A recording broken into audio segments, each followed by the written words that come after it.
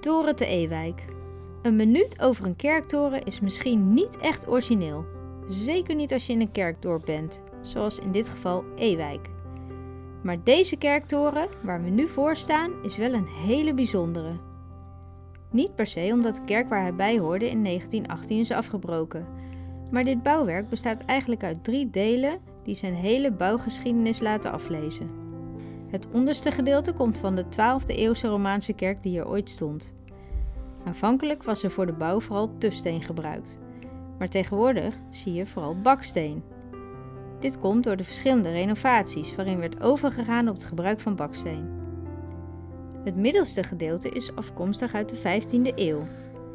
In die tijd werd het schip van de toenmalige kerk verhoogd. En tja, wat is nou een toren die niet hoger is dan de rest van het kerkgebouw? In 1831 werd de middeleeuwse kerk gerenoveerd met subsidie. Het werd een waterstaatskerk. En daaraan herinnert het bovenste gedeelte van de toren. Erg lang heeft deze vernieuwde kerk helaas niet kunnen staan, want zoals ik al eerder zei, in 1918 is deze afgebroken, onder andere omdat hij te klein werd.